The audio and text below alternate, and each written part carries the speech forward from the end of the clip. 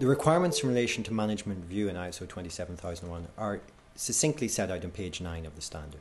There are nine elements in relation to management review, uh, and they're all set out point by point in ISO 27001. But it's important to understand what is the management review function. This isn't the day to day operation of the ISMS, this isn't a weekly or monthly meeting. The management review frequently occurs once a year, maybe twice a year.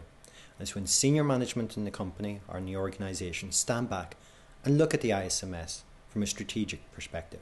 They look to make sure it's still working for the company, it's actually adding value, and it's using the resources and the time that's appropriate for the organisation. In other words, you're looking to make sure that the ISMS is actually providing benefit to your organisation, and that's what the management review is about. Under management review, there's two sections. One's called review input, and the other's called review output. Review input tells you essentially the things that you need to consider in that meeting. And a tip for any organisation is to take those nine points, put them down a, as an agenda item for your management review meeting, and you really can't go far wrong. The review output is ideally what you should be finding at the end of that meeting, what the meeting should be concluding on. And again, if you're looking at the minutes of your management review and you can tick off each of those items that are listed under the standard, then you've got it right. The ISO 27001 standard says that uh, management reviews should be held at least once per year. And you know that, that's a mandatory aspect but it's up to each individual organization what's appropriate for itself.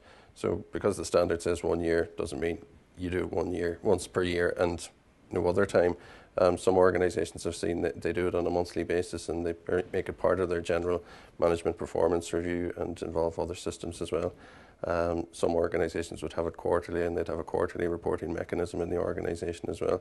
It all depends on the size and the style of the organisation and the amount of people involved. Um, the key thing to remember though is that the management review, if it is integrated in with other management system reviews and other business reviews, is that it does meet the requirements of the standard and that you take account of what the standard says about review inputs in terms of, you know, this is what the agenda of your meeting is going to be, and then the review outputs as in this is what we're going to report upon, and is going to be the input to the rest of the year. It all comes back to the plan, do, check, act cycle. That's a common factor in all ISO standards. That management review is integral to that, in that it's your chance to stand there, take a snapshot on where you've been in the year and what you plan to do in the year ahead.